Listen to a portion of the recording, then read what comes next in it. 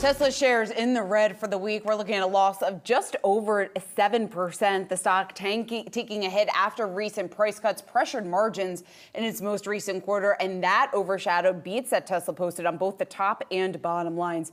Here with more on what this means for the EV giant and also what we could expect here from other automakers over the next several weeks. I want to bring in Tom Narayan. He's RBC Capital Markets equity analyst. Tom, it's great to see you here. So, despite some of the concerns that we're seeing from the street, you reiterated your outperform rating. You kept your price target of 305. Why aren't you buying into some of the worry that we have seen from others, from some of your peers?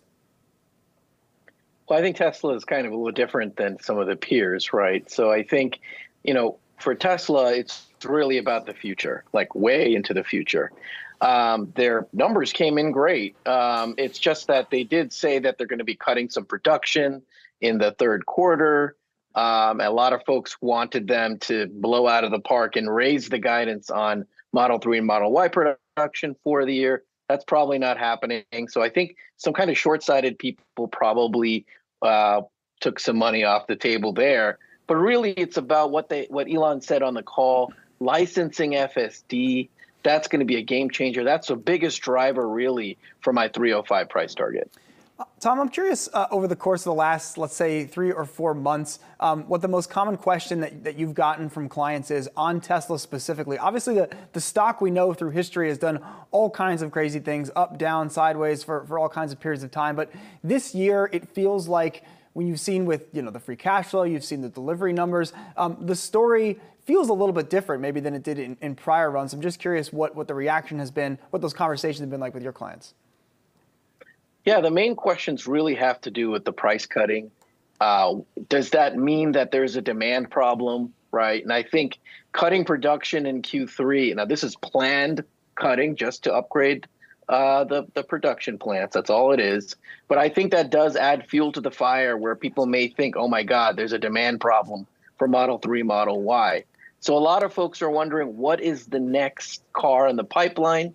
We know it's been speculated, and and um, you know Elon has talked about this Model Two car, which is going to be this lower priced car, high volume car. We're going to start seeing in 2025.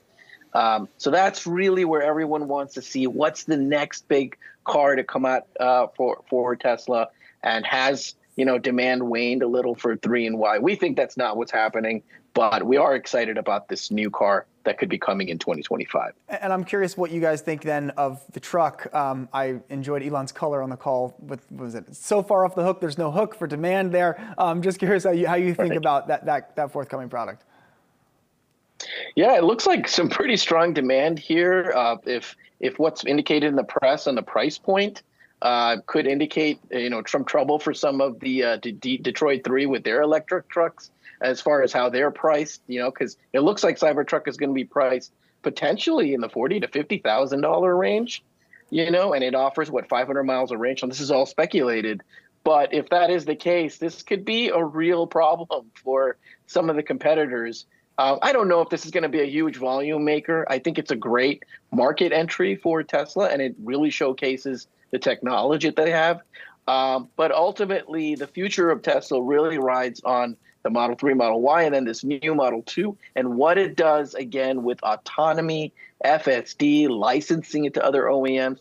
That's really where I think investors should focus. And Tom, one of its competitors, Ford, obviously maybe already starting to feel some of that pressure, lowering the price of its Lightning earlier this week. When it comes to Ford, we'll hear from them next week. Anything that we heard from Tesla signal maybe some of the troubles that we could also see from Ford, or are they uniquely positioned given the fact that they're obviously not as reliant on EVs? Yeah, I think it's kind of a different story. I mean, certainly, uh, you know, actually, Ford has actually set themselves up pretty well for the quarter with very low expectations. So I actually think they could do very well. The problem is everybody already knows this. Uh, so I think for them, they'll probably, I think, beat um, on the quarter and raise guidance. But I think that's largely expected. People are really looking when it comes to all these uh, legacy automakers on pricing. Uh, so even though they may do great this quarter or maybe this year, everyone's looking at 2024. And pricing seems to finally be falling. We're seeing all this price cutting happening. And now I think that's where the focus is. So even though they may do fine on this you know, next week or the, in the, when they report results.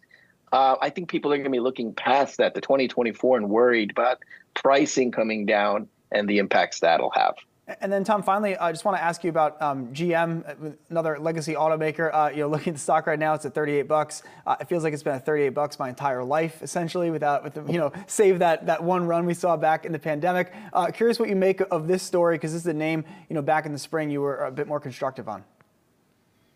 Yeah, it's it's tough because I I, I think that there, there's some great things going on here as well. You have a, an EV lineup which should really boost pricing and absorb some of the pricing we're worried about for some of the other legacy companies. You know, now you have all these new EVs coming out that are higher priced, the Lyriq, the um, you know, so, so uh, the Blazer EV, the Hummer. So all of this should help, and it's really exciting.